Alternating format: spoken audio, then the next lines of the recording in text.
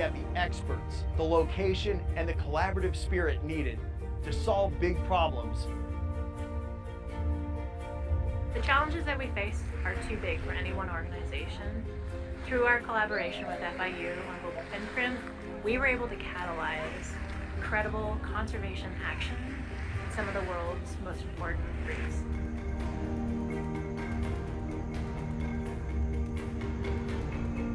Tropical Conservation Institute is an effort by FIU and partners to really work towards protecting the tropics at a very critical moment where species are being lost every day. We've intercepted about 1 million pangolins worth of scales. I can safely say we're not going to lose this ham.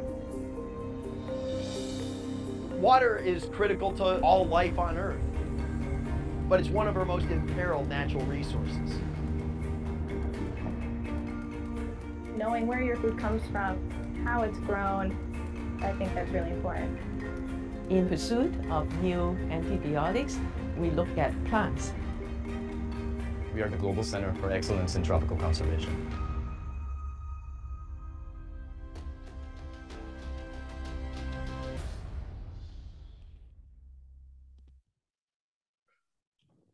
Morning, everybody.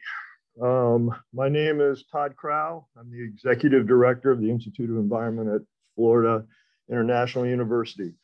And we thank you so much for joining us this morning on our idea exchange hosted by Florida International University and our platform in Washington, DC for salient solutions, building resilient coastal communities, but in, in fact, building resilient communities in general.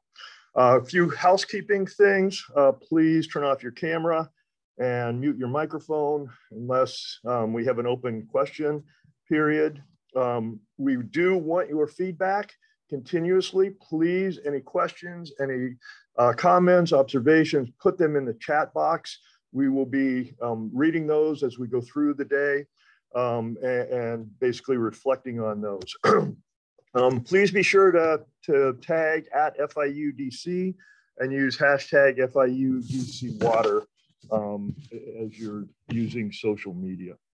So on behalf of Florida International University and the Institute of Environment, um, as well as our partners, the American Institute of Biological Sciences, the Association of Ecosystem Research Centers, and the members of Florida Congressional Delegation. We welcome you. We thank you for joining us, and we hope this morning will be an interactive and thought-provoking morning. We're going to hear from a variety of perspectives. We have a great uh, set of uh, expert panelists. Um, but we want your input. Please, please, this is a very interactive forum and we're very interested in, in, your observations and your input. This is a, we have an, it's an interesting time. You probably all know that in a couple of weeks, the White House is going to pull together a National Leaders Climate Summit. So we decided to start that conversation now. And, and the information we talk about today, the information we gather, we will in fact collate and put together as a, as a synthesis and a summary and forward that information on. Um, so um, again, we, we want to hear what your what, what your thoughts are. Um, we're gonna you'll hear from a great mix of panelists from across the country as we address the dual challenges of water quality and quantity, but also the infrastructure that's required um, uh, for uh, uh, environmental and coastal resilience. We have colleagues from Minnesota who conduct research on the Great Lakes, colleagues from Georgia who, who work on infrastructure issues in the greater Atlanta area. Um, we'll hear from other folks on general coastal issues. And if there's time, I may reflect on some of the more pressing issues we have in South Florida. But there's you, there's also you. And so we have an, assembled a, a, a good mix of stakeholders that are cri critical to our national goal. So who is here? Who has been invited? Who's attending? We have agency officials, folks from NSF, from NOAA, from other federal funding agencies. We have congressional staffers. We have national associations. We have re, uh, university researchers. And of course, we have our future, the students. There are lots and lots of students who are going to be joining, who are joining from many of the partnering institutions. So let's start with some quick visual intros. What we'd like to do is if you're logged in, please drop a line in the chat and tell us who you are and what organization you represent. And I'll give you a few seconds uh, to do that. So please provide some information in the chat box um, so we can sort of get a sense, everybody can get a sense of who you all are.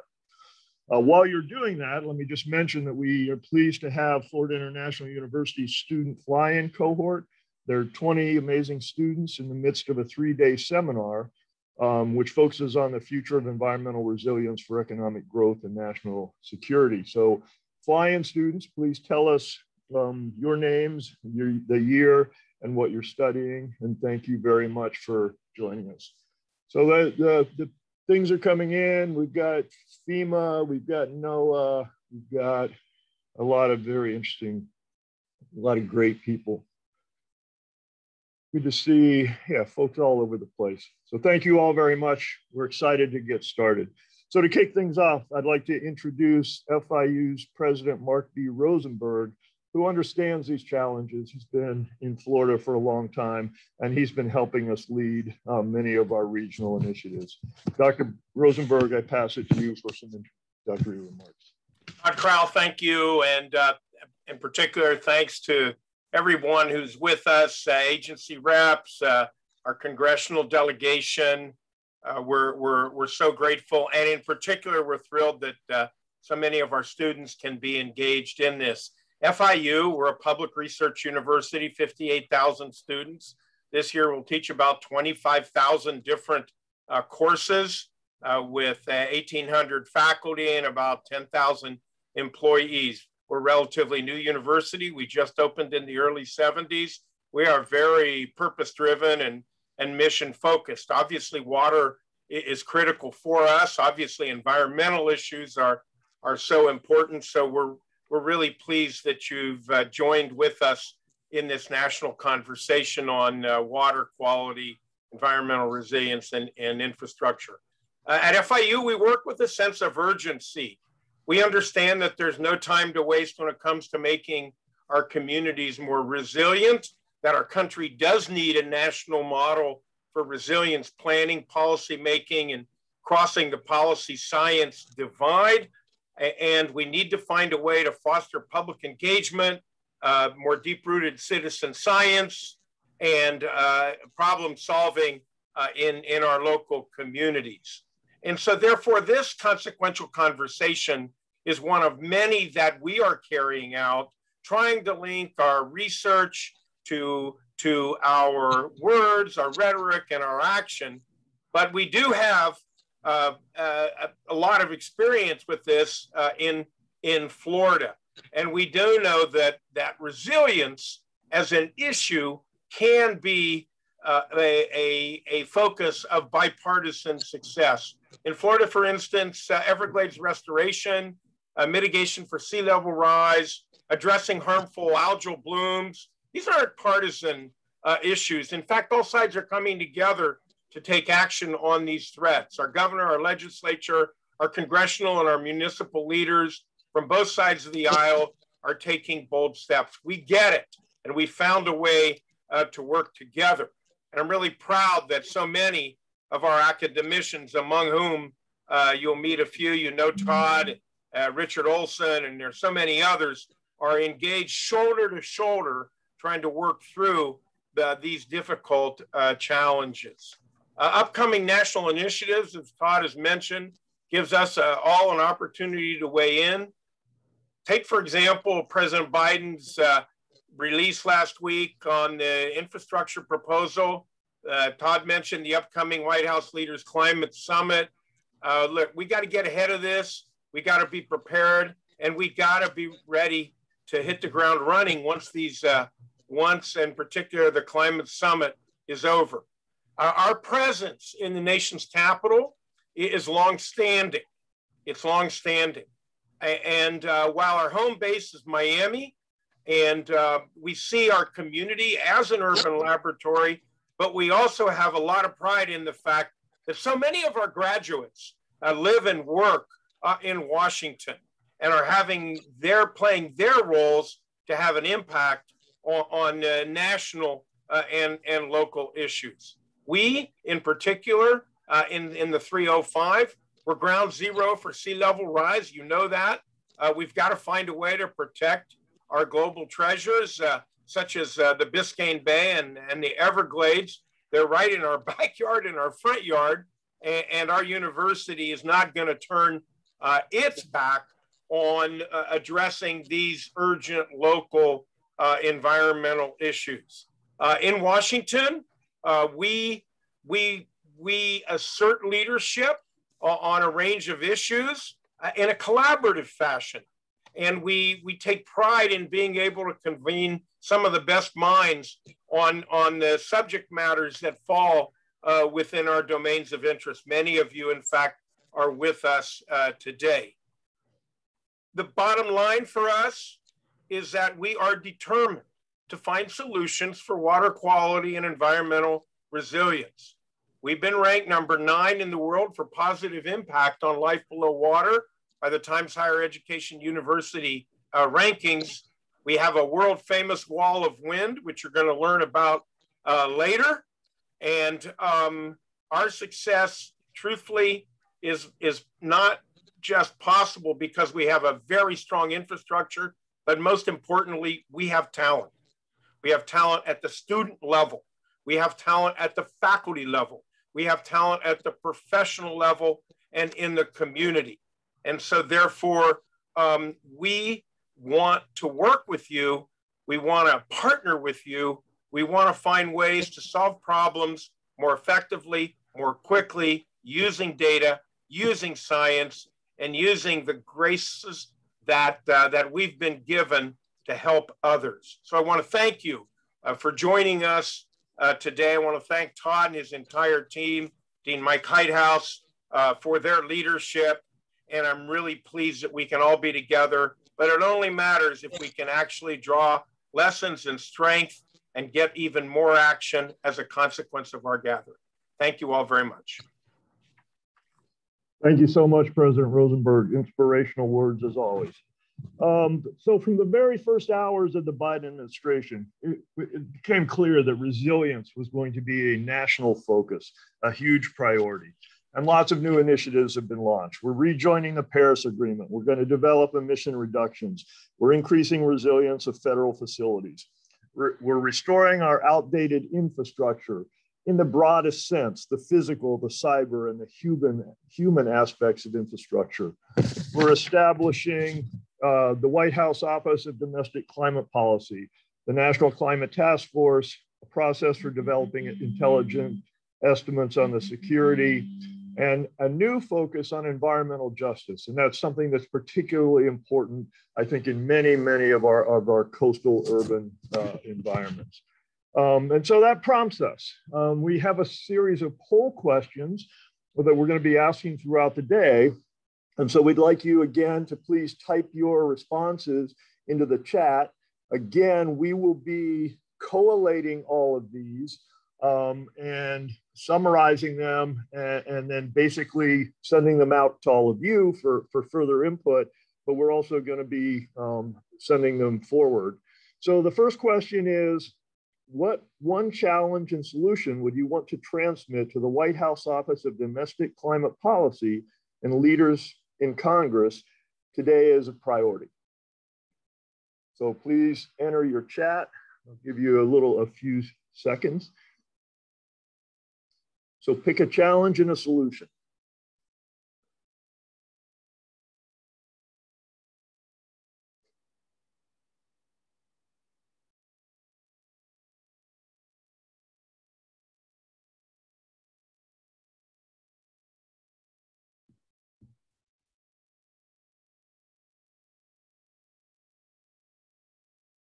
All right. Keep typing. Let me let me set up while, while you're typing your answers. All right, I see some very interesting things coming through. A lot of infrastructure ideas. Great. So just keep keep keep putting your answers in. Again, these are very important to us, and it will form sort of a synopsis document that will be interactive. We'll go back and forth to everybody who participated today, and ultimately, um, Carlos and his team from our DC office will will get that forwarded to the appropriate stakeholders. So let's start um, our first panel, and what we want to do on this one is really focus on water quality and quantity. Water, of course, is both an absolutely essential resource, but it's also can be a stressor. Too much is bad, too little is bad. It has to be just right. Um, successful resilience strategies will need to address freshwater availability as well as water quality, flooding and storm surge, water infrastructure and management, and the role of local industries in supporting the blue economy there's a new urge and push, I think, to sort of tie the environment more closely to the economy. And that's something we've been missing um, for a very long time. From a recent House hearing, it looks like it would take something like 171 years to bring the existing systems of uh, infrastructure up to a state of good repair. And we're going to talk about that and some of those challenging.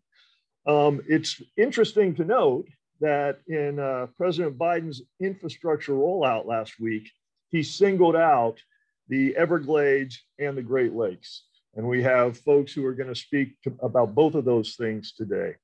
Um, so with that introduction and, and, and, keep your keep your answers coming. It, it looked great. You guys are putting in very thoughtful comments. Um, I'm really pleased to introduce our panelists today. We have Dr. Lucinda Johnson, who's the Associate Director and, and Water Team Lead of the Natural Resources, Natural Resources uh, Research Institute at the University of Minnesota. We have soon to be Dr. Matt Smith, um, who's a NOAA Sea Grant Knauss Fellow. Uh, and I, Todd Crowl, you've already met me. Um, I will, if there's time, I'll talk a little bit about some of the uh, challenges we have in South Florida. So uh, the first question I'll ask the panelists today, highlight for us some of the major challenges and, and, and research objectives your organization is addressing. Um, um, especially now and in light of the fact that we've got a president um, who's very focused on sort of water resources, infrastructure, and environmental resilience. And Lucinda, let me let me pass it over to you to start. Certainly. Thank you, Todd, and, and thank you for the invitation uh, to talk about these issues. Um, I speak not only from the perspective of a researcher in the Great Lakes, but also as a member of the Science Advisory Board for the International Joint Commission, which jointly manages the Great Lakes um, with Canada. Um, so for those of you that are not uh, familiar with the Great Lakes, uh, it encompasses two uh, nations, the US and Canada, plus 120 uh, tribal nations, two Canadian provinces, eight states, and is home to 34 million people. The economy is the third largest in the world at $6 trillion. And the lakes themselves contain 21% of the world's supply of fresh water. This is an unbelievable um, resource. But as Todd has mentioned, um, these areas are experiencing huge challenges. Um, water level regimes are changing um, much more rapidly than in the past, with, with record lows and high water levels occurring in rapid successions. Um, like other coastlines, we're experiencing increased frequency of large storms, water quality is being degraded, and that contamination is leading to uh, societal unrest. And like other parts of the coastlines, um, there's been an incident, uh, increased incidence of harmful algal blooms. And we all know that these stressors are unevenly distributed across communities in the basin. So environmental justice is um, very much evident in um, the distribution of these stressors. Next slide. So this is a map that depicts the cumulative stress across the Great Lakes Basin with the Lake Superior up at the top, uh, the least disturbed, whereas um, Lake Erie and Lake Ontario on the bottom right um, are the most disturbed, primarily as a result of agri agricultural activities. Next slide. As I mentioned, storms are um, a huge issue for coastlines, and the city of Duluth experienced three um, 500 to 1,000 year storms within the course of a year from 2017 uh, to 2018. And one of those storms uh, had estimated damages of, of $18 million. What this community ended up doing was essentially um, their their shoreline infrastructure was destroyed, and that was the source of a lot of tourism dollars. So instead of rebuilding their their um, coastal infrastructure every time there was a storm, um, they decided that they would actually rebuild the coastal area. Uh, they reshaped the coastline in order to make it more resilient um, to these large storms. Next slide.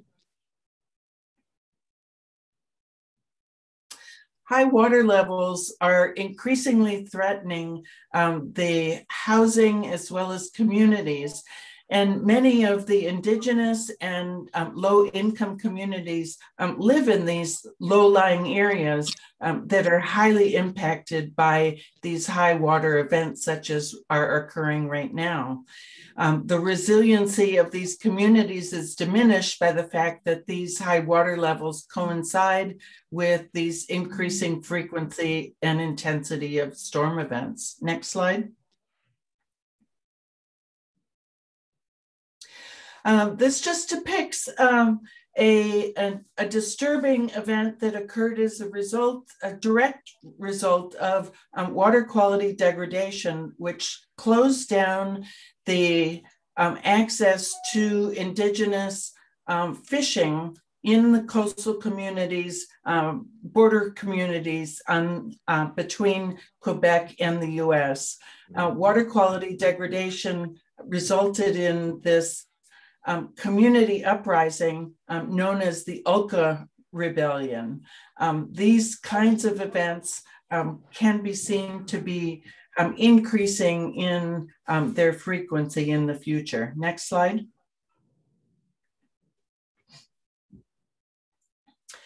And finally, uh, the uh, harmful algal blooms are uh, a huge problem as they are in Florida and other parts of, of coastlines. Uh, the city of Toledo had 400,000 of its citizens without water for five days uh, and cost the city of Toledo $65 million. Um, this event, unfortunately, was not unprecedented. A neighboring community of 2000, just the year before, had experienced a similar problem to its drinking water supply. Next slide. So, what do we do about it? Um, the International Joint Commission is in the process of uh, trying to develop a framework for an early warning system that would allow communities to identify threats and stressors, identify the level of risk associated with those stressors, and then divert, uh, determine a communication plan for decision makers that determine um, whether they should take action or not relative to particular stressors. Um, this is one possible uh, way to increase the resiliency of both coastal and inland communities um, with respect to the kinds of threats and stressors um, that we are experiencing now and will be continuing to experience as climate change intensifies. Thanks very much, and I'm happy to take any questions. Thanks so much, Lucinda. I'm, I'm, glad you brought up the harmful algal blooms. I'll never forget the sa satellite image last year that showed uh, the algal blooms from space in Lake Erie. So, I mean, the whole edge of the lake was bright red and you could see it from every satellite image there was. So, yeah, fascinating. We'll come back to that. Uh, Matt, um, what what is what is NOAA doing? What are you doing as part of your fellowship? Um, give us give us some highlights of what you've been thinking about as some of the major challenges that we're facing and, what you're trying to understand. Yes, thank you. Um, and thank you to Lucinda for that wonderful first presentation. I think it's really great to see and to hear about some of the issues that the Great Lakes are facing. Um, I think it's in some ways different from what we experience in South Florida, but it's it's always important to hear about those experiences. Um, so as Todd mentioned before, I am currently working as a NOAA Sea Grant Knauss Fellow, um, focused on marine policy, and I am I'm focused in a position uh, with the U.S. Army Corps of Engineers at the Institute of Water Resources, um, as well as with a coastal ad advocacy group uh, called Coastal States Organization. And so um, I've been in Washington, D.C. for just a short period of time um, since February. And in that short period of time, I've really been able to understand a bit more about the federal planning process relating to civil works um, and understanding priorities of risk reduction and resilience um, that may or may not connect across federal agencies and organizations. So I could provide a little bit of context to some of those issues. Um, so based on my time so far, I've, I've come across one overarching key principle, and that is really the need to understand, to forecast, and to communicate climate threats and how that is dependent on our resources and the knowledge that comes from working across local, regional, and national boundaries. Um, you know, this idea of shared experience is truly powerful, and we can learn a ton from the successes, but also from the failures of the past. And I think there are many great examples of effective coastal management um, in the New York City and the New Jersey region um, following Hurricane Sandy in 2012, for example. Um, unfortunately, in many cases, we are still feeling some of those impacts years later. And some might attribute that to problems of structural inequity. Um, hopefully, that we'll be able to address uh, with this new infrastructure bill. Um, others might attribute it to lack of communication between uh, some of the resource heavy federal agencies. Um, but I think the biggest challenge is really for us as a collective community to think through the entire federal process of risk reduction and water resource management. Um, so thinking before the disaster occurs and identify priority research and development areas. So one of those research and development areas that I've been focused on primarily is, is all about natural infrastructure and incorporating nature-based features into a traditional civil works planning process and with a focus on coastal adaptation. So of course, I'm sure you are all familiar with some of the many great examples of nature-based solution projects across the globe.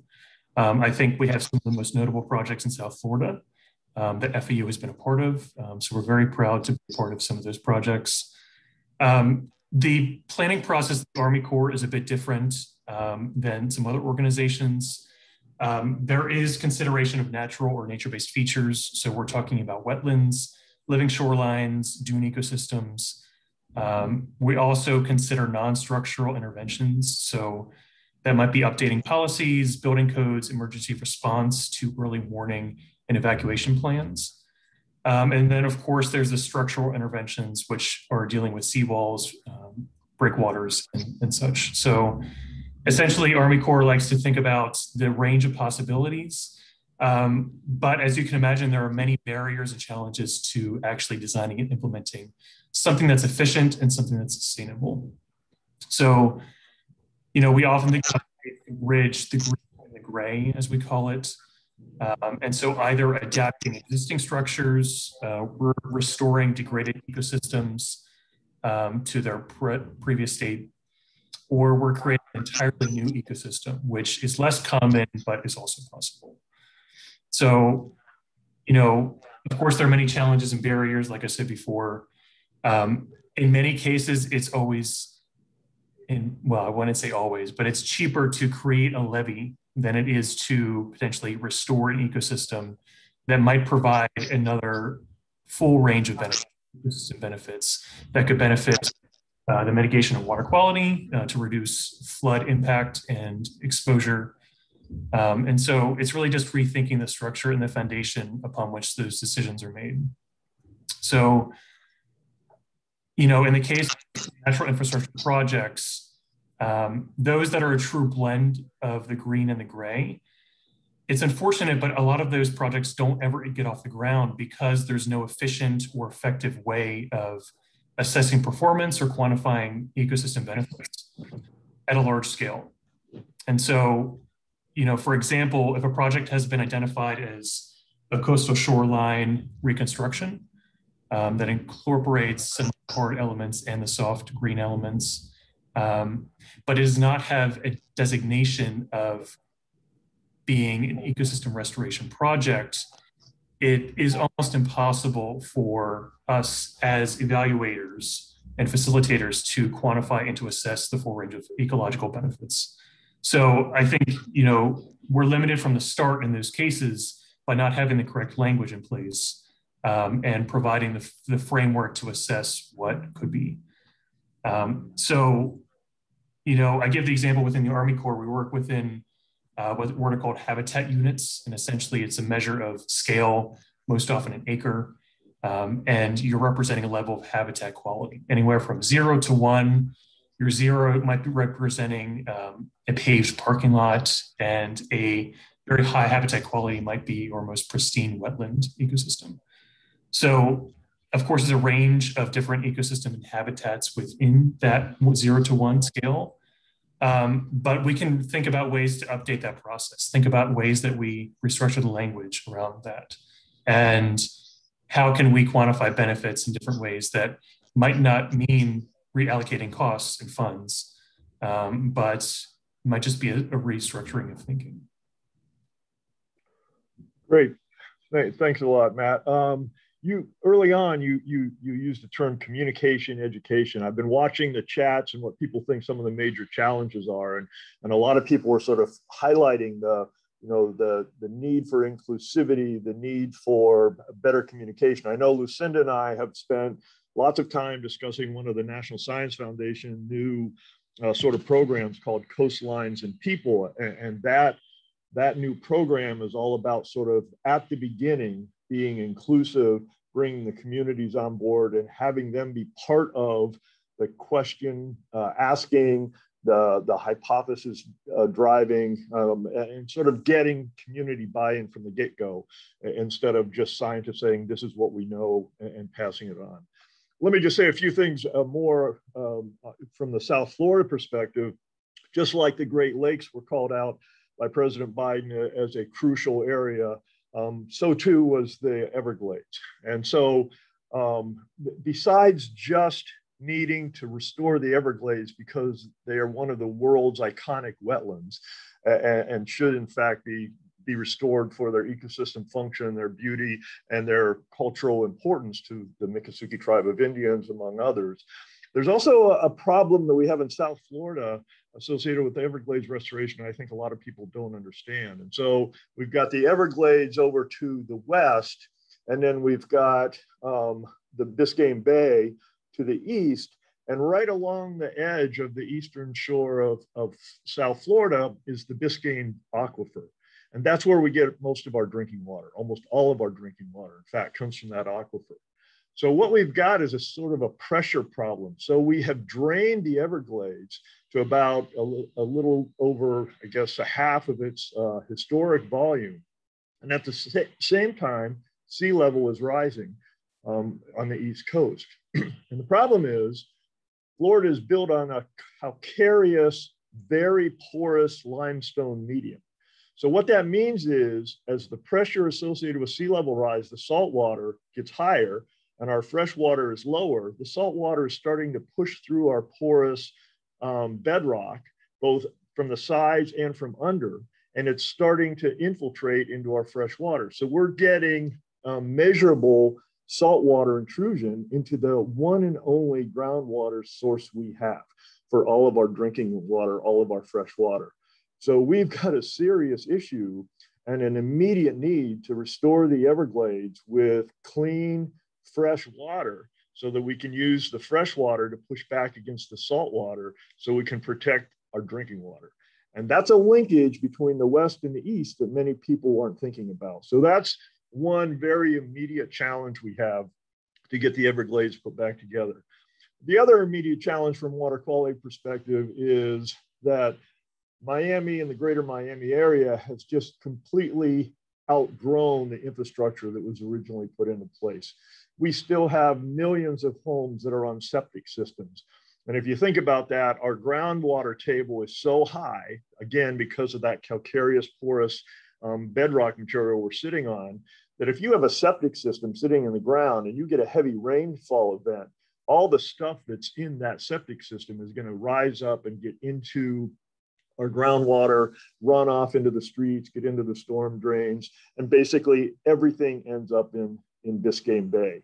And, and while you all have watched the news and, and you might think that South Florida is just a party haven, in fact, the majority of our economic drivers are things like recreation, fisheries, um, not just spring breakers. And so, you know, the loss of water quality, the loss of seagrass habitat, the loss of coral reefs, and, you know, potentially the ultimate collapse of our fisheries is a huge threat to us um, in South Florida from an economic perspective. So cleaning up the drinking water, uh, or sorry, cleaning up our water, our septic systems, restoring that infrastructure to minimize the amount of phosphorus and nitrogen that's going from our sewer systems into the bay is absolutely critical. It's expensive, it's going to be hard, but we really, really don't have an option. In August, we had a, a, a major fish kill in Biscayne Bay the bay basically went anoxic for a couple of days. And, you know, we almost lost that entire ecosystem. So it's timing now is super essential for us. Get the Everglades uh, restored and get our, our uh, uh, water infrastructure put into place. And of course, in the news lately, I can't help to mention, this isn't South Florida, but up in Tampa, you know, there was an old phosphate plant and they built these retention ponds. And so all of the, the wastewater from, from the processing plant is being held in these huge reservoirs. And there was, of course, there was a breach in one of those reservoirs. So literally metric tons of phosphate is being pumped from that reservoir into Tampa Bay to basically stop the potential for flooding and, and loss of uh, life and uh, property. Um, so far, it looks like they've got it kind of contained, but what they're doing right now is pumping that water directly into Tampa Bay. What is so sad about that is Tampa Bay is one of the success stories, sort of like the Hudson River story, um, where they found a problem. There was a nitrogen pollution problem in Tampa Bay. They identified many of the sources. They remediated many of those sources. They put in uh, wetlands to take up some of the nitrogen. And they have made significant process in cleaning up Tampa Bay. It's gotten better and better. But now, of course, phosphate or phosphorus, that other major pollutant that results in eutrophication of our waters, um, is now being pumped directly into Tampa Bay. This was a foreseeable problem. It was it's an infrastructure problem. There had always been a plan to drill a, a, a 200 meter or so um, well down and basically inject some of that water down into a deep groundwater water well, and it never happened.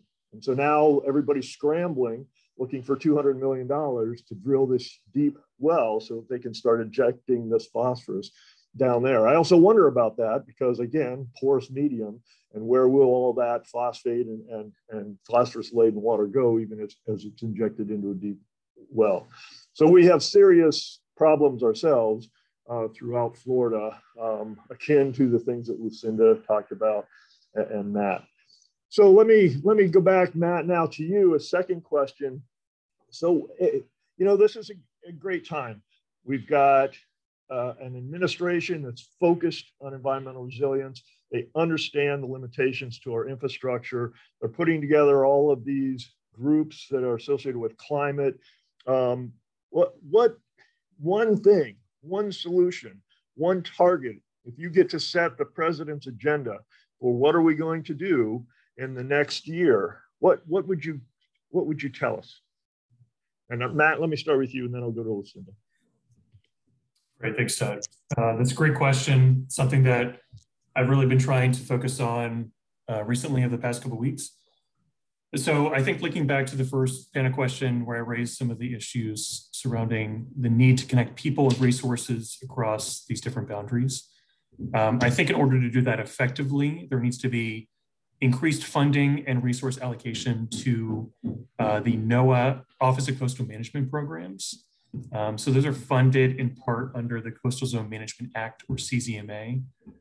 Um, and those are in conjunction with other cooperative agreements, such as our National Estuarine Research Reserve Systems, or NERRS. Um, and so it's programs like that that are really primed and ready to take action on resiliency. So they are the ones who are doing the critical thinking. They can be the ones who are doing the on the ground work in partnership with other federal agencies. And so I think increasing funding um, and other resources um, to those programs would really help us to move the needle forward on resiliency. I think um, in general, those programs are really composed of interdisciplinary scholars um, at the state level. And then those folks can act as the enablers to connect those different pieces of research and practice to management. Um, and you know, they also have the ability to manage projects on the ground level um, while remaining focused on some of these longer term you know, regional planning goals um, that might be further out on the horizon, but are still important to our larger objectives.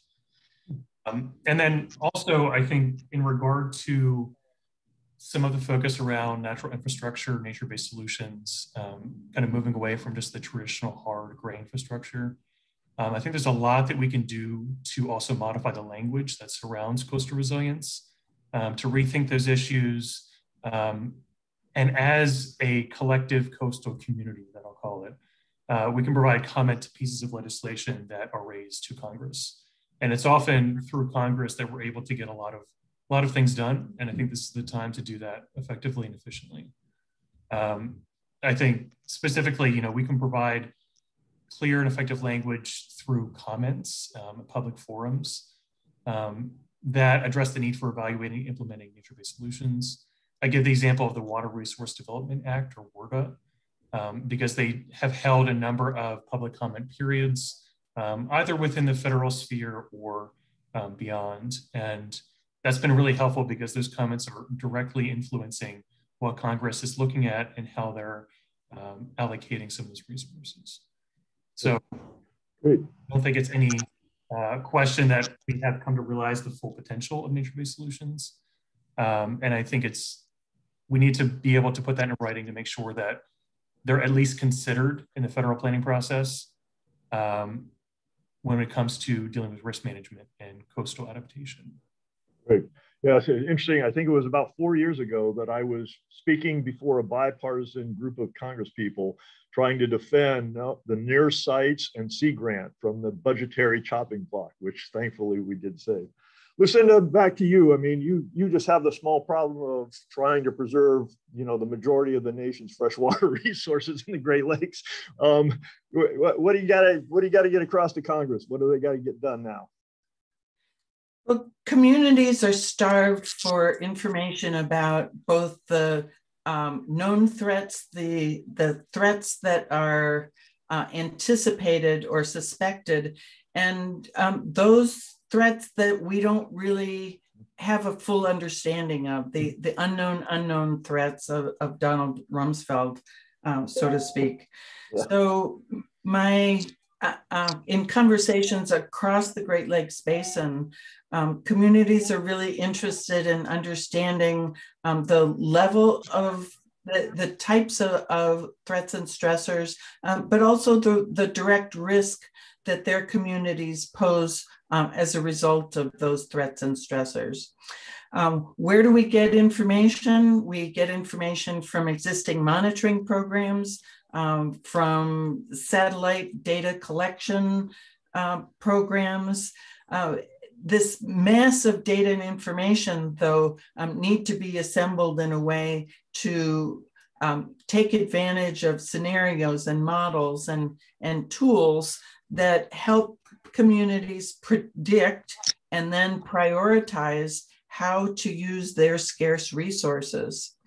So, um, one of the recommendations I would be inclined to make is um, for us to continue to support existing monitoring programs. We need long term data in order to understand the potential uh, uh, level of threat and the, the behavior of those threats. Um, things like changing variance patterns in long-term data sets mm-hmm. are a very good example of, of an early warning um, system indicator. Uh, so keeping in mind that data and information um, need to have some sort of an organization and a mechanism for um, delivering that information. Um, that's where some of the um, organizations and infrastructure that Matt was discussing um, come in because data and information are not usable until they are in a form that can be um, used by the decision makers and managers who need to be responding to those threats and stressors. Great. Yeah, yeah, yeah. The nonlinearity of aquatic systems has always been a, a, a perplexing issue. All right, let's let's open it up. Um, we've got these great panelists. Um, let me open it up to uh, attendees. It looks like there's 75 or 76 folks. Um, I'm just seeing, seeing, seeing. What do I got here? Uh, let's see. Do I have Krista? It looks like. Um, Krista, I think you're an FIU. Yeah, Kristen, sorry. um, you have a question, I guess, but but I think you're one of the FIU flying students, right? Could you just I am. very short amount of time tell us a little bit about what you're doing up there? Um, well, we're, we're here, we're remote, but we're talking to all kinds of, um, you know, uh, people involved in policymaking and um, uh, just all those different players involved um, and our theme is um, environmental resilience and the uh, economy um, and, and national security, sort of intersecting those goals and, and how they intersect um, just through various strategies and all that. So that's kind of a very broad overview. Um, uh, yeah, and, and, we've been talking to all kinds of people from, from different organizations and it's been very insightful. Um, so I have a question for, for you guys. and uh, I guess it could be kind of directed to anybody, maybe maybe more for Matt, but um, also Lucinda could could definitely um, uh, add to it. So I'm curious, um, considering the urgency of all the you know environmental issues facing our coast, our coastal communities, and the large scale and cost of changing infrastructure, and you know the kind of time delay that that would involve, um, it seems important to sort of triage our strategies um, and look for uh, maybe minimum input to maximum output so I'm curious if you agree with this sort of triage approach and what strategies or policy approaches you would suggest would sort of have that maximum positive impact for minimum lowest cost. Well, okay, Matt, good luck. and that's maybe a tough question, but. no, thank you so much. Thanks, Kristen. That's a, that's a really great question. I think something that we at the Army Corps are really trying to focus our efforts on because we realize in order to move forward, we have to figure out solutions or strategies that, um, like you said, are are low low effort but result in maximum impact. Um, I think, and coming back to what Lucinda was bringing up earlier, just about creating platforms and areas for information exchange and knowledge sharing is super important. And I think in a lot of ways, there are efforts that are attempting to recreate the wheel. And we may not always know that there are projects that are very similar to our own um, in different regions or parts of the globe, um, and where we can benefit from just understanding and learning from some of those processes that are already underway. So I think providing opportunities to exchange information, but then also to remove the barrier and the uh, the challenge of communicating failures I think is something that really needs to be done in that information exchange because, you know, I think in most cases we can learn probably more from our failures than successes in the sense that we really know what not to go back to. And I think um, offering opportunities where you can have various structures, scales of discussions that relate to the decision making process and design process um, that are focused around exchanging information resources building off of ideas that are already underway, but maybe not have do not have the resources needed to move that forward. Um, I think that's something that follows along with the approach that you mentioned, um, and it's definitely a starting point that could be applied to any number of organizations. Um, and I will say that's something that uh, we're planning on doing with the Army Corps of Engineers um, and creating uh, within the Institute for Water Resources, creating that information exchange um, to benefit from what's happening on the academic research side of things, um, understanding what's happening at the NGO and nonprofit level, and then using federal resources, which there are quite a few, to actually construct and to maintain projects long term. So it's a lofty goal, but something we're looking to do sh- shortly. Thanks, Matt. Lucinda, where would you get the biggest bang for your buck? uh, boy, I um, am not, um, yeah, I'm not sure that, that I have enough experience um, working on the infrastructure side of things, but um, for sure, as I work with communities, um, the, the decision makers in communities are starved for information, but also just um, basic tools that help them identify the magnitude of problems so that they can use the um, minimum resources that they have at their disposal uh, to prioritize um, where they should be putting their dollars. Um, input from the community in various uh, ways really um, can help alleviate a lot of mistakes. Um, there's a lot of restoration activity occurring in the Great Lakes Basin as a result of the Great Lakes Restoration Initiative. Um, this is $300 million, $350 million a year now um, that is being deployed across the basin. And it turns out that many of the restorations that have, a, have been implemented um, turn out not to be so great for the um, people that are most closely affected by those restorations. That is, the um, low income communities that are right along the shoreline um, have these restoration activities that uh, are planned and executed without sufficient input from those communities. And as a result, um, many of those communities end up um, basically being displaced by the very activities that are supposed to benefit them.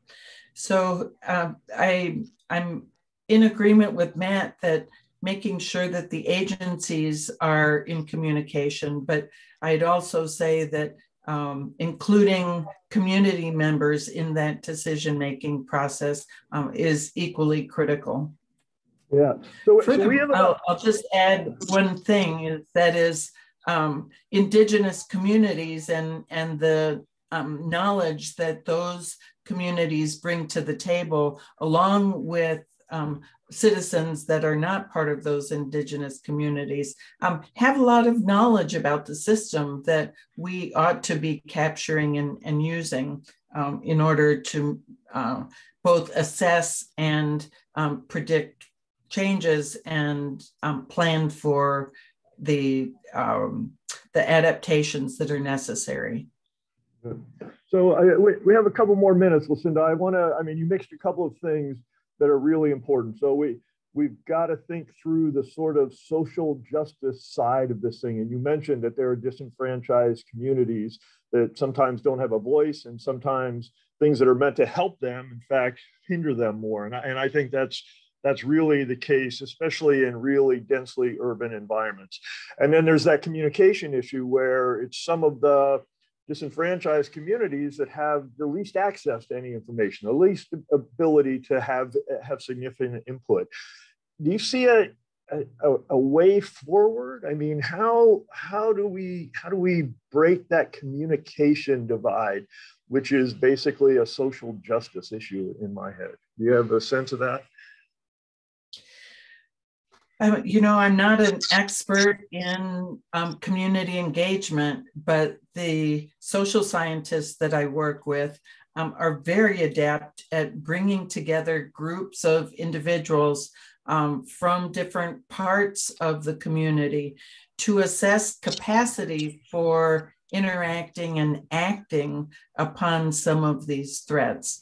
Um, there are a lot of community leaders that are available to participate in these decision making um, and planning activities. And I, I just think that we haven't, um, to this point, uh, really held the um, decision makers' feet to the fire uh, with respect to bringing, doing the hard work to bring community members to the table when it comes to these planning uh, activities. And in some cases, the urgency is so great that it is difficult to um, engage in uh, that kind of an exercise. You know, the, these threats that you're experiencing right now in Tampa Bay are clearly emergencies, but uh, on the upstream side of emergencies is emergency planning. And in emergency planning, um, we ought to be bringing different parts of the community into those discussions so that when the emergencies do occur, there's been some sort of a, uh, a communication stream um, that can help to inform the, both the process and um, the people, as well as the mechanisms by which those uh, communications need to occur. Mm-hmm. Yep. Okay, yeah, and and uh, I'm watching some of the chats coming through, and, and people are saying, you know, there's all kinds of new community science, there are tools out there. Um, there are community-led research toolkits. There are uh, data sharing platforms. There are lots and lots of ways. Uh, one person says, you know, data is part of the of the communication issue and its power. Um, just a, we have two, a couple more uh, minutes. I don't know. Some of you are able to speak. Um, does anybody want to ask? Well, we got a couple minutes for Matt and Lucinda. Anybody that's on here want to ask a question directly? I, I'm doing my best to sort of read through, but take advantage of their expertise and dedication and see anything. Uh, yeah, yeah. It's Obey. Hey, Obey. Yeah, hey. I have a question for Matt and maybe Lucinda as well know, a lot of uh, many planning documents or standards are based on, you know, past history of data or hydrology. I'm wondering, is Army Corps or other agencies, are they developing new standard or guidelines for this develop or planning for future conditions uh, and account for that uncertainty? Yeah because when you invest a lot of money, you want to make sure that they are robust enough to function under future condition, not under current condition. And that should be a fundamental principle in, in planning now under climate change.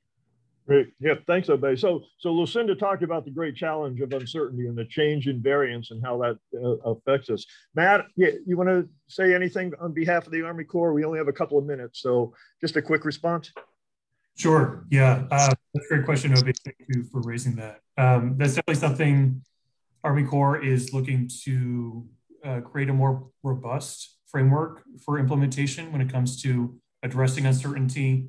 Um, I think that in regard to the modeling approaches that are currently at play, um, they're done at such a large scale that um, they're not only if you're working within particular smaller units. So I mentioned habitat units in the past for assessing benefits or um, numbers for reduction in flood exposure, for example.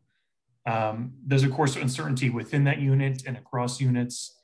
Um, I think the biggest difficulty is that we are now in the process of switching the, um, the type of modeling that's used um, away from traditional to more um, incorporating elements of machine learning, so understanding these more potentially sophisticated statistical approaches. And I think that in doing so, that there are a lot of there's a lot of room for improvement in doing that. Um, but it's also understanding land use legacies and how that comes into play. So how the history will benefit information um, to model for the future. So great yeah, work in progress. Yep, yep, thanks. I think I think we're all hanging a lot of hope in artificial intelligence, machine learning, and being able to find patterns we haven't been able to find before, especially with these sort of nonlinearities. So thank you, Lucinda, Matt. Thank you so much for joining us. Thank you for your expertise. Thank you for your dedication. Um, we'll go through and look through all the questions. If there are specific questions that were aimed at you folks that I just couldn't keep with, I'll send them your way and, and perhaps we can put together some responses um, for the participants. But again, thank you all so much. Um, as we transition now, thank you, Lucinda. Um, here's another poll question. Again, we'd love to see your answers in the chat. So the question is, in your opinion, what is the best case for science-based policies and investments to advance adaptation and nature-based projects that address the needs of our country, regardless of the region? So please, let me give you just a couple of seconds.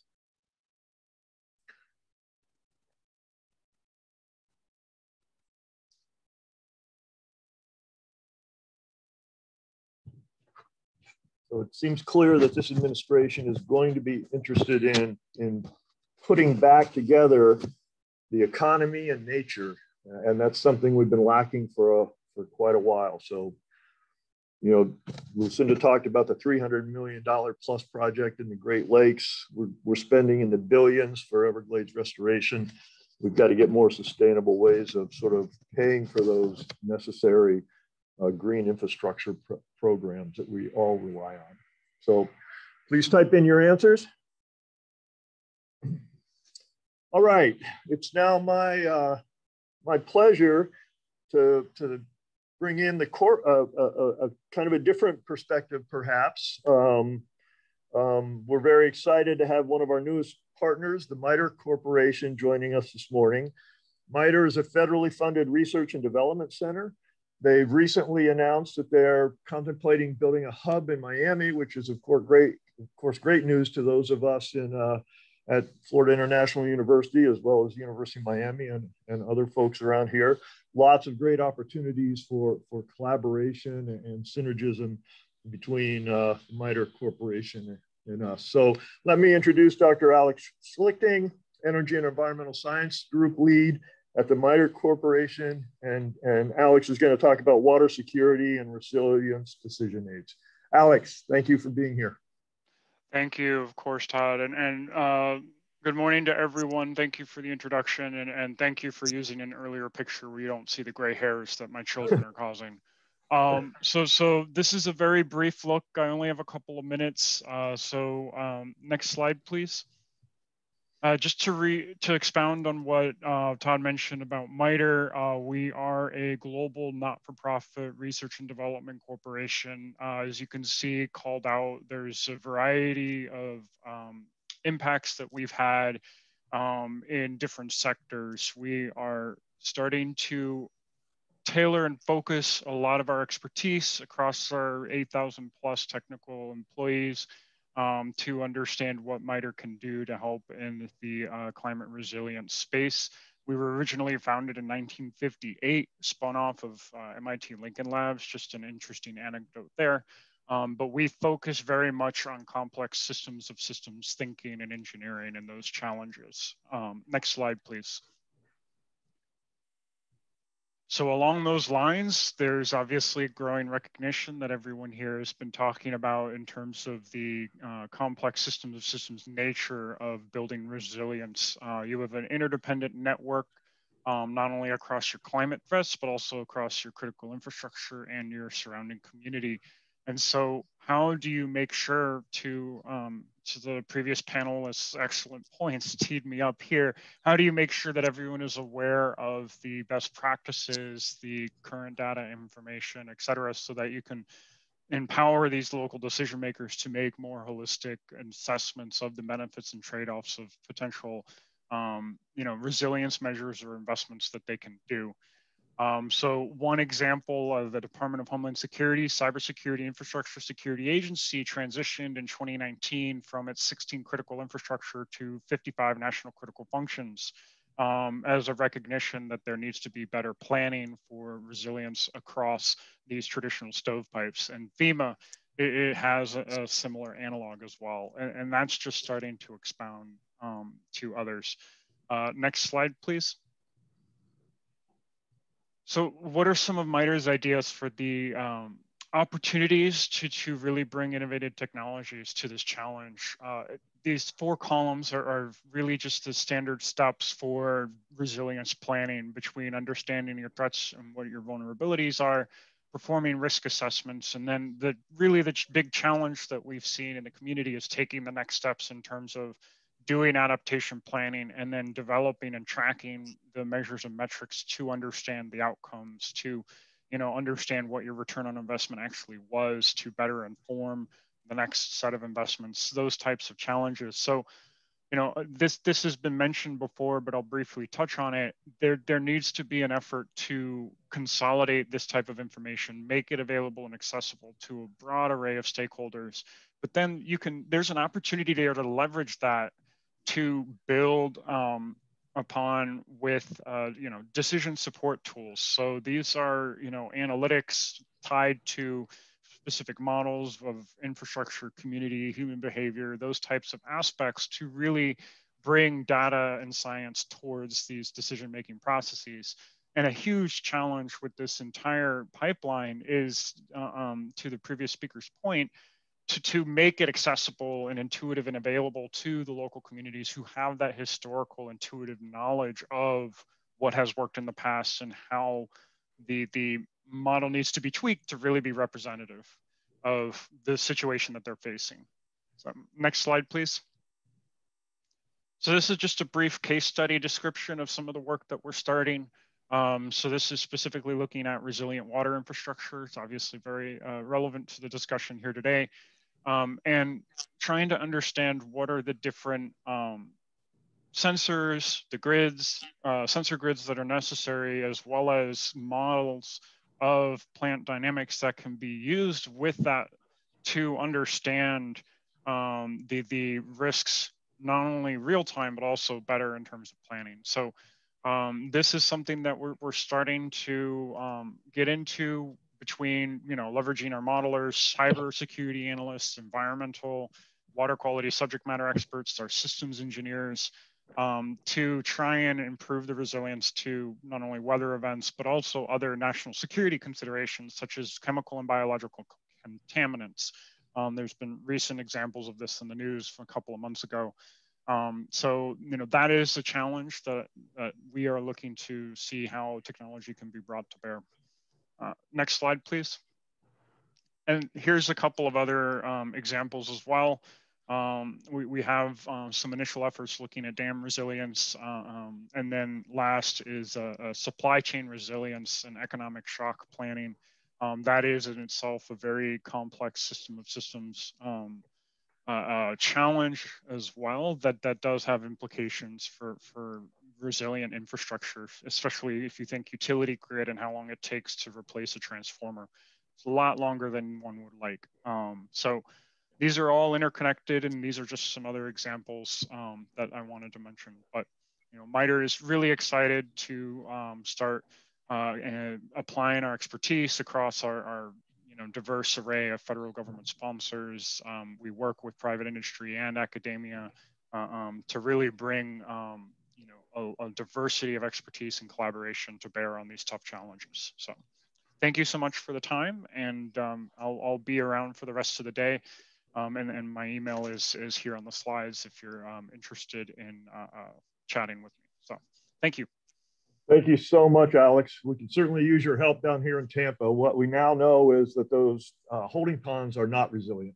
so it's a it's a yes no answer, and the answer is no. So thank you so much, uh, and folks, uh, yeah, please keep typing in the chats, more information, more questions. I'm, I'm sure Alex and his team will be happy to answer those. So I think now um, we are going to show a brief video um, highlighting the wall of wind facility that we have that President Rosenberg alluded to.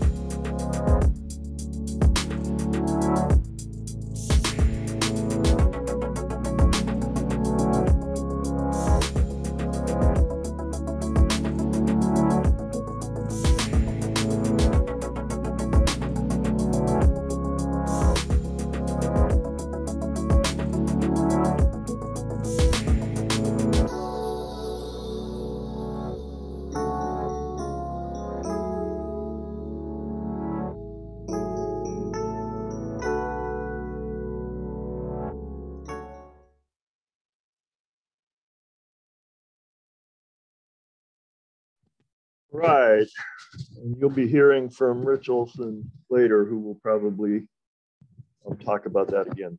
Okay, so President Biden and his administration rolled out their major infrastructure plan. It's a huge investment of resources into climate, water infrastructure, and just overall resilience um, um, from a sort of an infrastructure perspective. And again, infrastructure is physical, it's cyber, it's human. There are lots of uh, aspects of, of what we need for, for environmental resilience. We know what our challenges are in coastal areas, but uh, in general areas. It's flooding damage, levee breaches, like we've been talking about in Tampa, sea level rise, aging inland waterways and ports, our whole water systems, like in South Miami, that are completely outdated. And, and, the, and the fact that we continue to move people to the coastal areas, whether it be the coast of the Great Lakes or the coast of the oceans. There's no doubt that the demography shows that more and more people are migrating and building on our coastal environment. So that puts a huge squeeze on those coastal resources and, and what we need to think about in terms of uh, ur urban resilience. In 2020 alone, the United States endured 22 separate billion dollar weather and climate disasters, costing $95 billion in damages to homes, businesses, and, and public infrastructure. So for this next panel, we want to focus on the infrastructure priorities. What should they be? What would a national model for innovative coastal resilience planning look like? And not, it just doesn't have to be coastal. It can be just resilience planning. So we've got a great panel. We've got three folks who know resilience and infrastructure well. Dr. Krista Capps, soon to be associate professor in the Odum School of Ecology at the University of Georgia. Andrew Huff is a senior director of federal affairs, National Association of Mutual Insurance Companies. And Dr. Rich Olson is the director of the Extreme, uh, Extreme Events Institute at Florida International University. So let me open it up to uh, the panel. Krista, I'll start with you what are you working on? What are you thinking about when it comes to sort of infrastructure and especially when we talk about urban and built environments? Yeah, hi Todd. Thank you so much for including me. And though I'm hoping it will end up positively, I'm still an assistant professor. So um, there's no doubt. um, so I am a freshwater ecologist and very interested in the quality and quantity of surface waters, particularly rivers and streams. And I became interested in infrastructure and then started a deep delve into thinking about infrastructure once I realized I was having problems modeling what might be happening in rivers and streams, particularly with on-site wastewater infrastructure. And so that's what I'm going to talk about today. I've created a QR code that you can scan with your phones if you'd like to go to a supplemental website I've set up on my website with some resources that might be useful for folks um, that are thinking about policy development. Next slide, please. Um, so the one thing that I think is really important is that we need to embrace the fact that everyone lives in a watershed. And so most people um, in this country and throughout the world depend on rivers and streams and groundwater resources for uh, both drinking water and then potentially the discharge of wastewater. Next slide. So what that means is that folks that are living upstream are going to, next slide, have impacts on communities downstream. And this in particular will be affecting coastal communities. The other important thing to remember is that we all need to drink and we all poop. So these things interact, they're influencing surface water quality, and maybe applying a watershed or systems level approach to thinking about the management of water infrastructure could be beneficial at this time. Next slide. So the in particular i became interested in on-site waste systems because i was just really unaware of the uh, interconnectivity of both centralized so sewer based and uh, decentralized and in most cases septic infrastructure in the us and you can see from this map that uh, on-site wastewater infrastructure is really important uh, to the us and in fact the army corps um, suggests that um, sorry, not the Army Corps, the American Society of Civil Engineering estimates that 20% um, of all people, households in the US are dependent on septic. Next slide, please. But the thing that is really profound, and this was frustrating as a freshwater ecologist, was that jurisdictions, and most of the time this is at the local and state level, don't maintain accessible data pertaining to on-site waste systems. So oftentimes if records are maintained, they are on in paper form and you can't effectively do planning or risk management or mitigation with records that are stored in boxes in a dusty closet somewhere. So a lot of jurisdictions at the local level don't actually know the total number, the location, the condition, the maintenance or failure risks of their systems. Next slide. And in Georgia, just to give you an example, a state that impacts both the Atlantic coast and the Gulf Coast with our activities, um, we're producing over a billion um, gallons of wastewater that's being treated by septic systems each year. And as you can see, we're a river rich state, and this is going to be impacting all of those water, uh, watersheds. Next slide, please. And so the thing about on-site waste management is it's exceptionally complex. So at the beginning, permitting and site selection and placement is actually heavily regulated. But everything else in this complex network of management um, basically ends up as, as a homeowner or a property owner uh, responsibility until there is environmental failure. So can you move to the next slide, please? So maintenance and or the lack of maintenance of these systems can lead to environmental and public health consequences. And there are a, a bunch of complexities at the local, state, and federal level, but also at the watershed level that make managing on-site waste systems really complex. And this includes, again, maintenance, the ability to treat waste that's been um, pumped from on-site waste systems, and even our penalty systems associated with um, illegally disposing of waste. Uh, next slide, please. And again, education is a really important component of this. Oftentimes when I'm speaking to people, they, they actually don't even know they are on septic systems, which has a, a lot of important implications. Next slide, please. So I want to um, discuss a few things that I think are really important. So first, again, records and data management are lacking, and this is especially true with maintenance. So once septic systems go in, most jurisdictions don't know if folks are actually treating them, which can lead to failure. Next slide, please. Another major important thing is that education needs um, need to be addressed. So from what I've spoken to about regional, so in the Southeast and Georgia in particular, we lack soil scientists that can actually understand whether or not a soil is appropriate for this type of placement. So education needs to come to the homeowner and through extension agents and maintenance, but it also, we need to think about this from a STEM education perspective. Next slide, please. The other thing that is that I'm finding is really alarming is that once septic systems are pumped, most places will not, wastewater treatment facilities will not take that pumped waste, which means that pumpers have a couple options. They can dump them illegally in watersheds, or they can drive across state or jurisdictional lines to try to find another place, which really increases costs.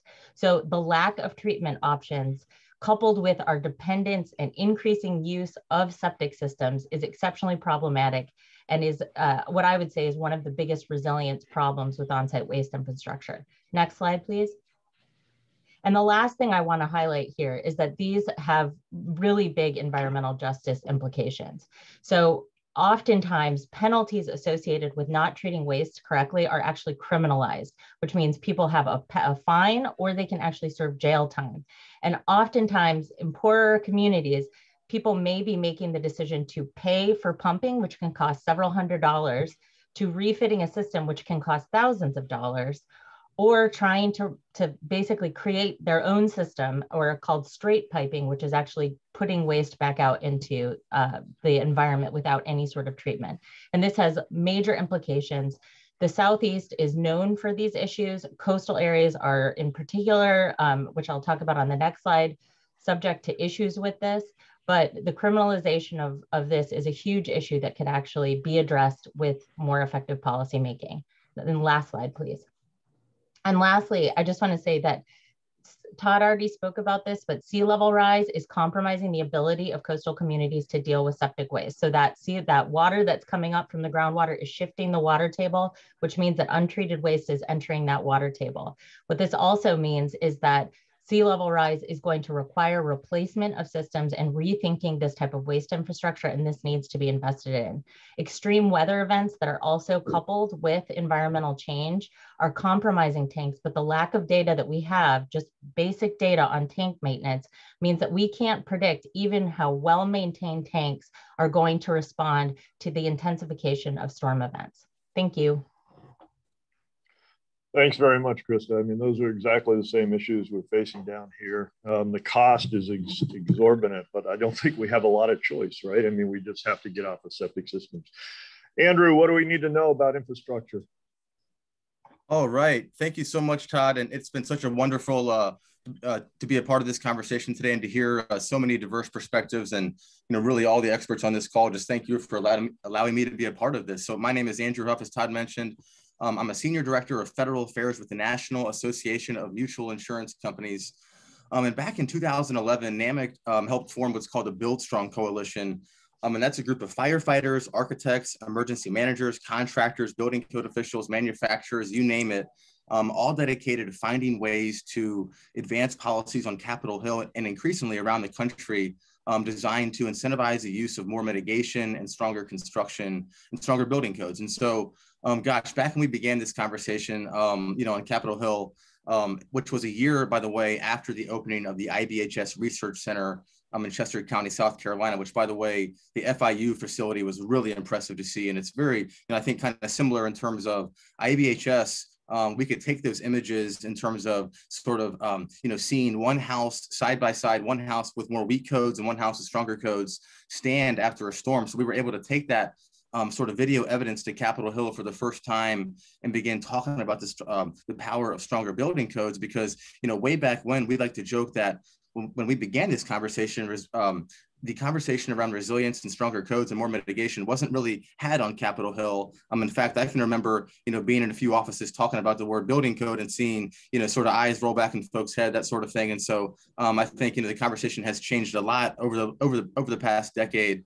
Um, and sort of, you know, along the way, um, the Build Strong Coalition has been working to advance, you know, policies, like I said, designed to um, increase the use, the use of building codes. And sort of, you know, in that conversation, we really began talking more and more on Capitol Hill about the fact that we saw the federal government was spending so much more on mitigation after the fact instead of before the fact. Um, and so we began, you know, testifying before Congress in terms of saying, hey, let's spend more money up front um, on investing in communities in the face of climate risk before um, that climate risk. And so that way we can, you know, better protect homes and communities after the fact as well as infrastructure. And so in that conversation, we, you know, um, uh, worked to advance a number of pieces of legislation over the years, including a piece, uh, a piece of a bill called the State Building Code Incentive Act, a bill called the National Mitigation Investment Act, which really culminated in the Disaster Recovery Reform Act, which was enacted in 2018 as and i think i saw somebody put in the chat um, about the BRIC program. And so dura created what's called the BRIC program the building resilient infrastructure and communities program at fema. And so um, you know that's going, going to drastically increase the amount of resources that communities can have for pre-disaster mitigation. Um, just by way of reference, um, if you look back to 2017, I think the federal government doled out 90 million through the existing pre-disaster mitigation program at the time. Then, of course, this latest BRIC funding round was 500 million, and I think you know could really be increased even more. And so um, now the Build Strong Coalition is talking to folks on Capitol Hill about the incredible opportunity we have with you know with an infrastructure bill in terms of you know, making sure that we include those policies designed to um, really allow the BRIC program to, um, to really, um, you know, almost sort of uh, even be enhanced in increasing community resilience, as well as continuing to create more incentives for the use of stronger construction and building codes. So that's sort of, you know, what we're up to now on Capitol Hill and, you know, glad to get into more detail in terms of kind of the policies that we're talking to lawmakers about. Um, but that's sort of the story of, you know, kind of NAMIC and the Build Strong Coalition and how we got here, um, and you know the importance of obviously continuing to drive policies designed to um, increase community resilience and coastal resilience in the face of um, climate risk. Thank you so much, Andrew, and we'll come back to you with a, a couple of more uh, questions. Rich, what, you, what can you tell us about infrastructure and wind? How do we fight the big bad wolf? Okay, thanks, Todd, and good morning, everybody. Uh, as the, the Wall of Wind video as you can surmise from it, our focus is really on extreme event impacts uh, the physical aspects of it. But I have to say, water is life, okay? There's a broader context within which we work. We may look at the built environment and the human environment, and those are our foci. But without a healthy natural environment, there is no built environment or human environment. It's the basis upon which we all proceed. So water is life, and we start with that. So I, I want to echo what Todd and others were saying earlier about our demographic shift to the coasts. Look, we moved toward the water, and now the water is moving toward us.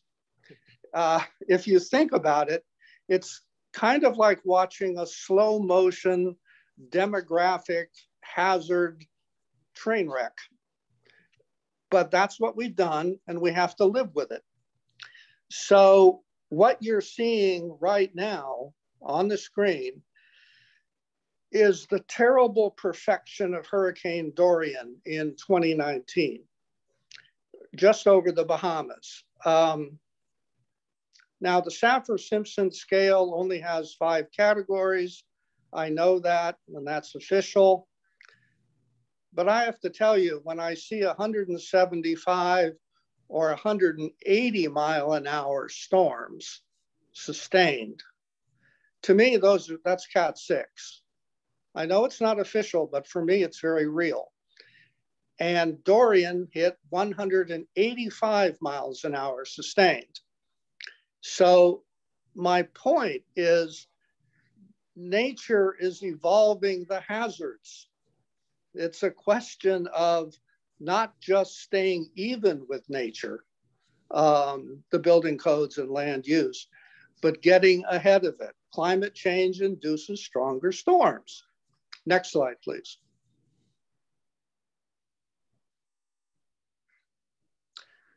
Now, Dorian for us should be a teaching event. That that's us right there, South Florida, immediately to the west of that storm. It made a very late turn to the north, thank God, because for a while there it was heading straight up 8th Street in Miami. And that storm was still at 185 miles an hour just off our coast before it made the turn. It devastated islands in the Bahamas and there will never be another Dorian, but for a reason that goes, the World Meteorological Organization has retired the name Dorian because the devastation was so severe. So to me, Dorian will always be the Cat 6 that didn't quite hit us. But as we look at every coming season, we have to keep thinking about nature is evolving the hazard, and it's a race for us. Okay, so if we think about coastal infrastructure from a strategic point of view, resilience is really a combination of what we call the three R's. You retrofit in place, people call that strengthening. You replace with a with a redesigned and stronger part of the infrastructure or lifelines in my experience. Or you relocate. Some people call that retreat but it's if it's done correctly it's a strategic relocation of infrastructure. So what's to be done? I think we have to focus on a better process to avoid a public free for all on resilience and resilience projects that erodes or will erode, further erode public trust in government and institutions. So for me, what we need is a nonpartisan expert resilience evaluation commission that can put some protection, political protection, around policymakers and political leaders who know what the right thing is. but are often frightened of doing it or supporting it for fear of negative electoral outcomes in the next go around.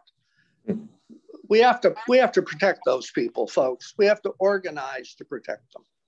So, identify coastal infrastructure at risk, use the 3R approach to prioritize the targets for upgraded resilience, and then find the finance solutions at all levels, federal, state, and local, and then achieve actual implementation.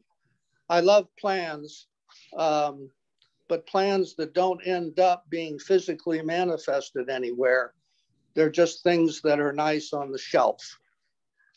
Thank you, and I'm available. Thanks very much, Rich.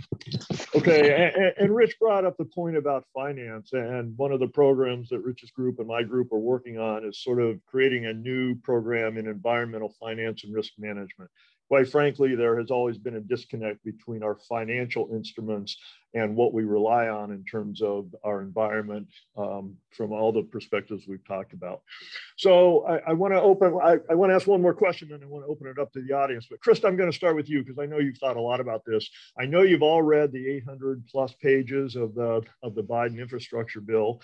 Um, but so what's missing? Is there one thing missing? Or Krista, perhaps not missing, but what should be emphasized? What's the number one thing you would say? Just go to page 472 and let's start there. Well, I would love some more particular details again about on-site waste infrastructure. And in particular, I think with science, we can convert this non-point source of pollution into a point source. And I think that investment can occur now. And I find that particularly exciting. Additionally, with better data about how systems function and respond to extreme events and changing climate, um, we can actually use new technologies, existing technologies to create warning systems for communities when environmental failure is going to occur and multiple, if not watershed levels of septic systems are subject to failure. And lastly, we do have existing tools, but I really do think that um, this is a chance to address some environmental justice issues if we start developing and supporting communities to identify areas that are subject to environmental justice issues surrounding on-site waste. And so that's what I would love to see more details and more science based work because I think we could convert this non point source into a better understanding or point source pollution. Oh, very cool. Great. Andrew, I, I, know FIU is hosting a roundtable tomorrow on sort of insurance prices and, and, you know climate and all that stuff. But from your perspective, what what should the uh, what should the uh, infrastructure bill highlight? Where do you want to point? Thanks, Todd. Appreciate that. Yeah, you know, I think we were very excited to see the infrastructure plan, and forgive me, I don't know the exact page number. Um, talking about, I think, spending 213 billion to retrofit a ton of affordable homes, and that was, you know, really exciting. I think, um, you know, in terms of the infrastructure plan, there's still additional opportunities, um, and we're talking to Congress about that in terms of ways to um, increase state and local capacity to, to undertake risk reducing mitigation actions by increasing the capacity of the BRIC program and we think a few ways to do that. Um, one would be to kind of increase the funding calculation for the BRIC program. Um, as you all probably know, the BRIC program can currently be funded with up to 6% of whatever was spent out of the disaster relief fund for that fiscal year. And so we're looking to maybe increase that percentage um, as well as tie a, a, certain percentage of BRIC funds to building code adoption and enforcement. Um, we know so many communities, um, you know, lack the resources to have adequate building code enforcement regimes. And um, I can get into a little bit more of it later, but I think you know, the, the retrofitting piece is going to be really important too. Um, and just looking at ways, and we encourage you know, the administration and Congress to look for ways in the infrastructure bill um, to you know try to find ways to utilize BRIC funding, existing BRIC funding um, you know, to fund retrofitting programs and incentives for folks to undertake retrofits.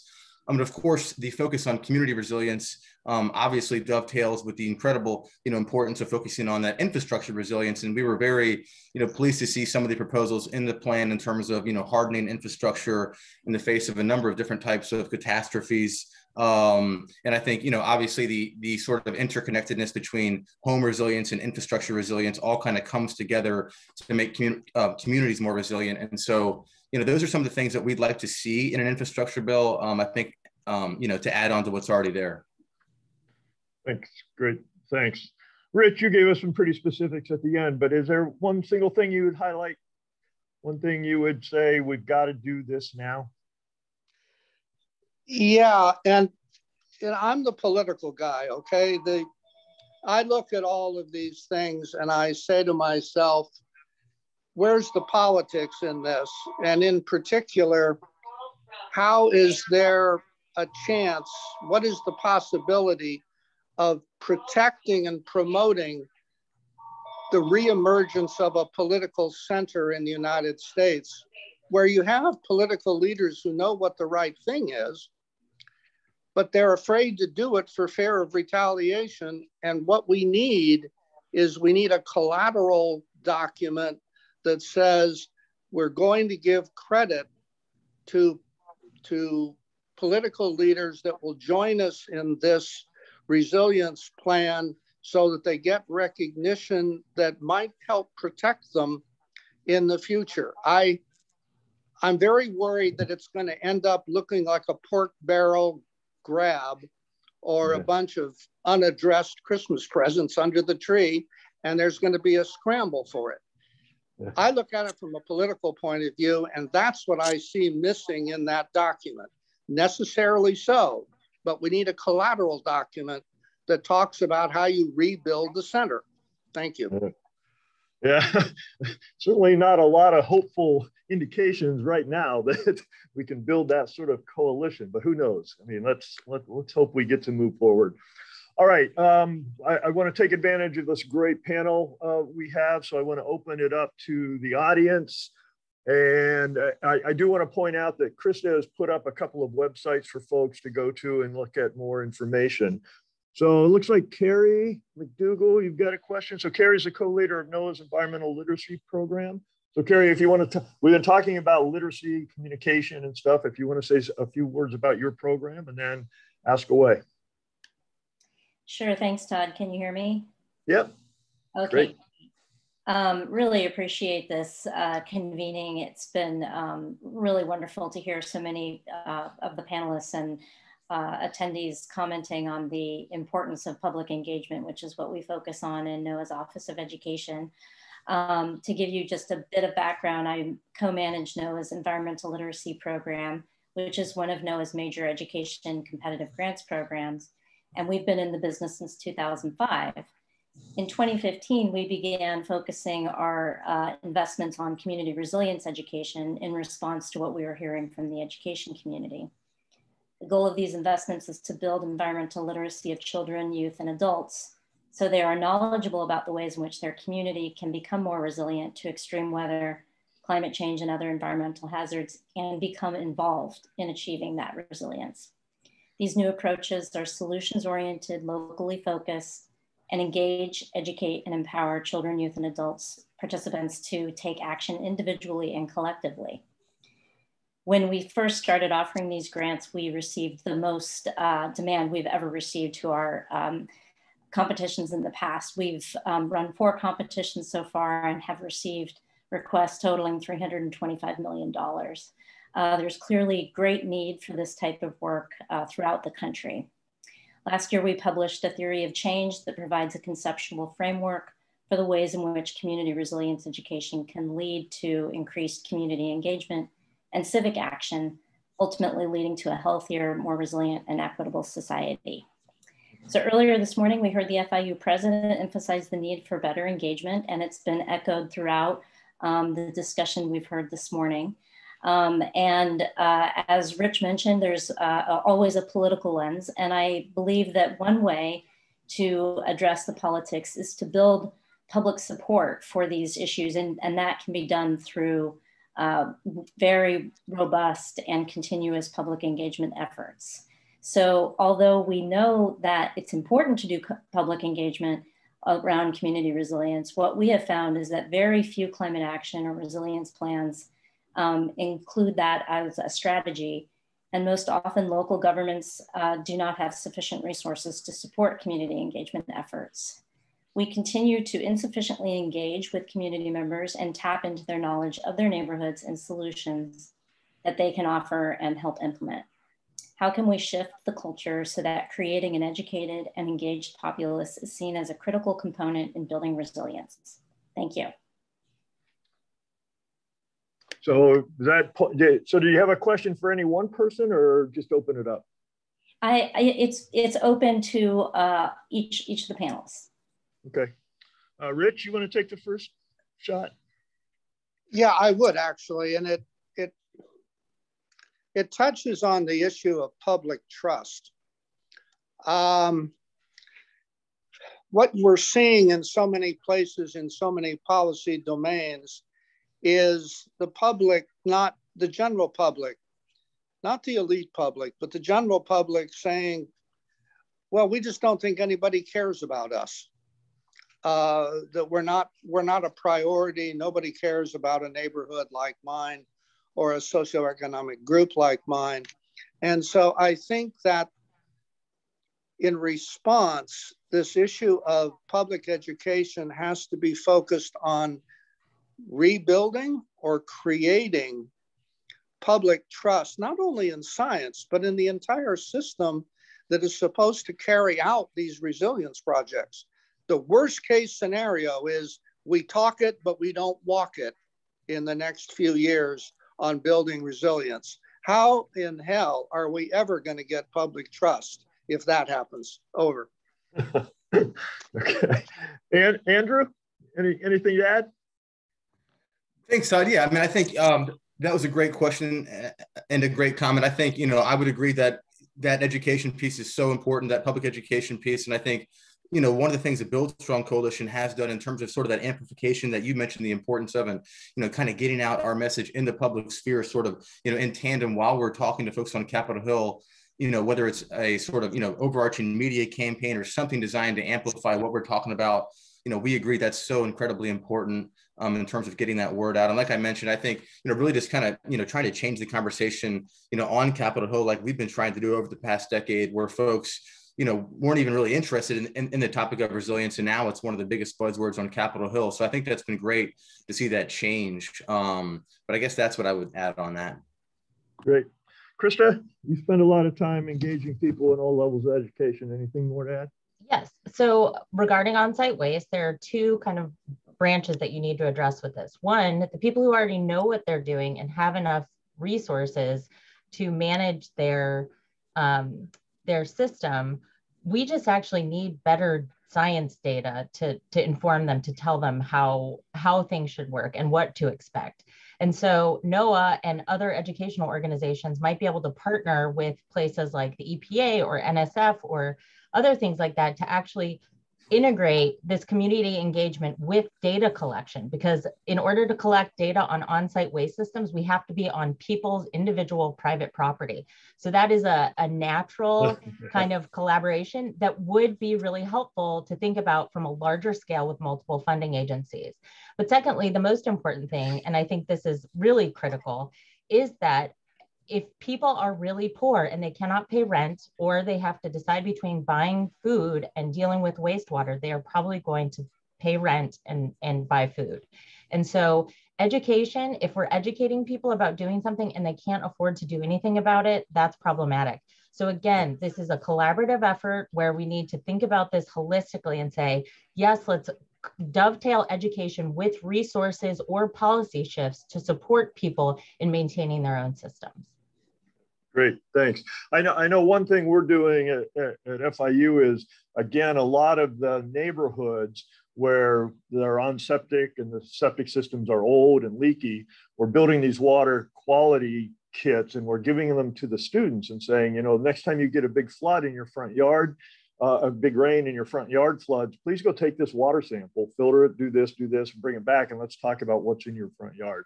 And so what we're trying to do is sort of get people to say, aha, oh yeah, oh no, my house is one of the issues, and, and try to bring it to the individual home level. And, and again, to, to cross those sort of divides of folks that don't live on the bay versus people who do live on the bay. So um, it looks like I have one more question. We've got about five minutes. Nadia Cedarham is one of our FIU fly-in students. Nadia? I don't hear you. I see oh. you. Oh, there you are. there you are.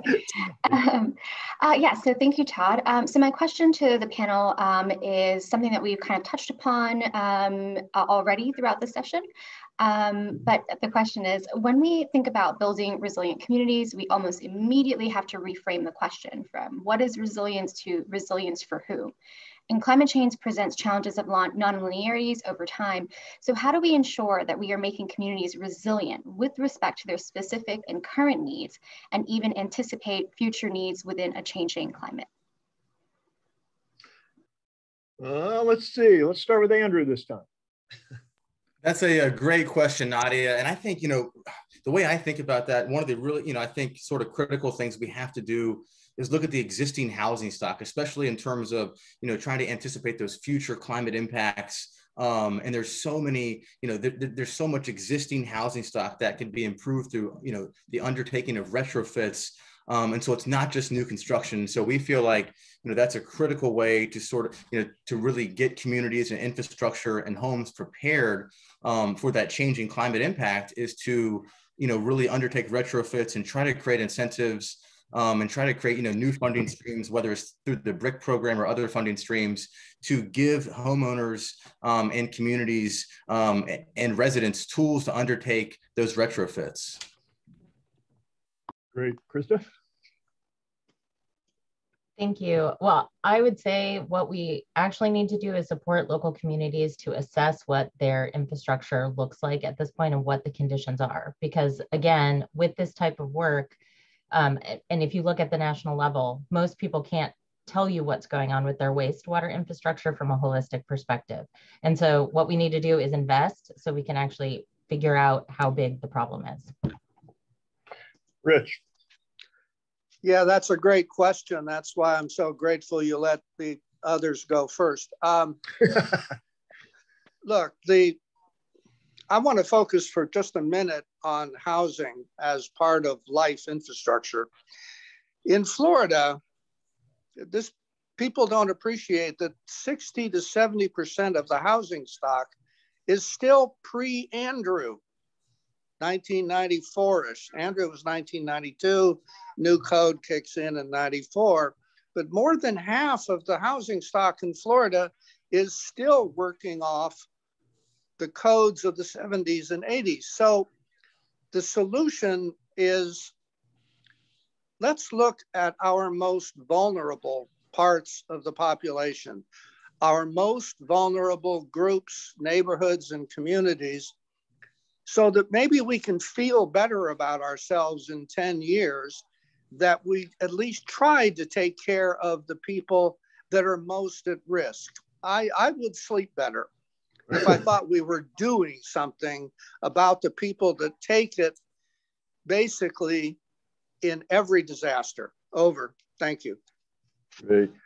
Rich, Andrew, Krista, thank you so much for your thoughtfulness, your dedication, your input. Again, we'll look at questions and I'll shoot them your way if we've got specific questions for you folks.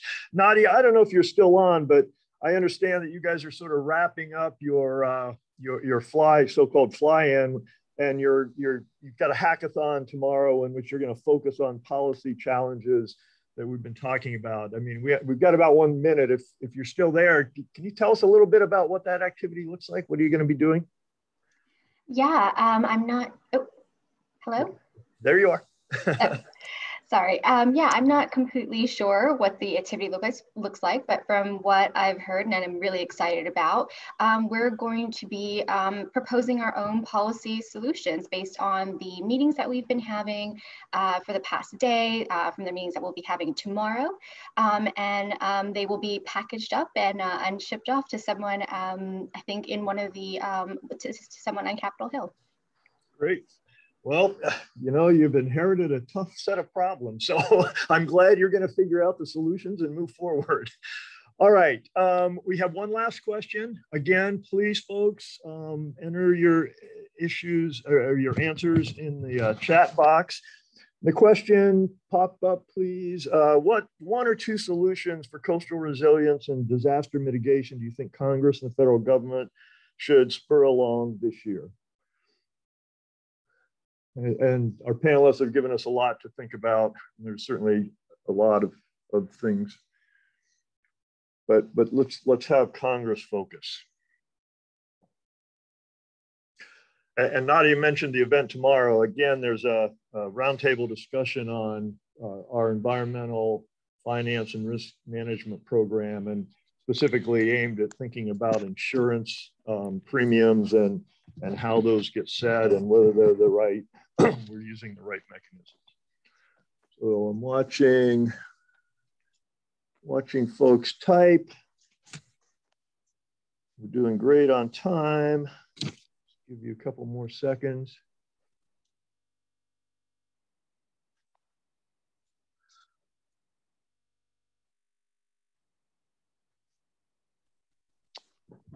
All right, so let's wrap this up.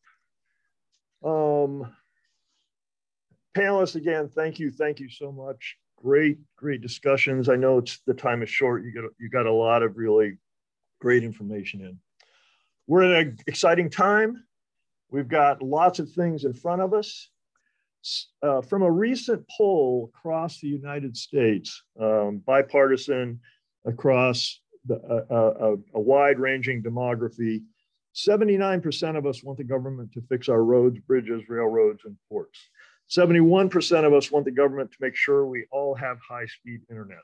68% of us want the government to replace our lead pipes, and the same percentage as people who want the government to support renewable energy with tax credits. And I've been watching some of you say tax credits in some of your answers.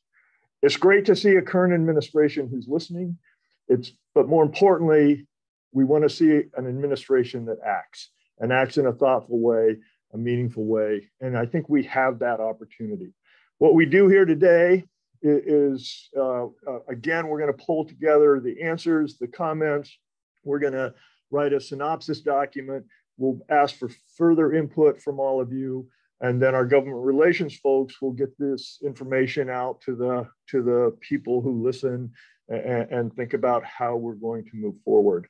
I thank you all an awfully lot, especially the panelists and especially the FIU DC office folks for putting this together. Um, and I look forward to continued conversation. And I can't wait to sort of read through all the things that I couldn't keep up with uh, as you were typing and, and I was talking. Thank you all. Have a wonderful day. Thank you. At FIU, we and the challenges of our time by Great job. Thank you. Investments into results that make an impact. Our country's scientific and policy leaders know FIU's breakthroughs are transforming Miami and the world. Our teachers inspire America's future scientists and engineers and use our tools to realize the full potential of our children and families. The country counts on us to monitor the health of the Everglades and Biscayne Bay and ensure America's coastal communities are resilient and safe from disasters. But we mobilize on our own when Florida's treasures are threatened. The Pentagon invests in us for future generation antennas and secure communications. And our engineers are restoring sensation and quality of life to those who have lost limbs, like our returning veterans. As we seek to reduce preventable disease and disorders of the brain, our scientists are leading dialogue in action. An investment in FIU is an investment in real solutions. Leaders in Tallahassee and Washington are recognizing that we drive policy. We are as real as it gets, and what real does makes a real impact.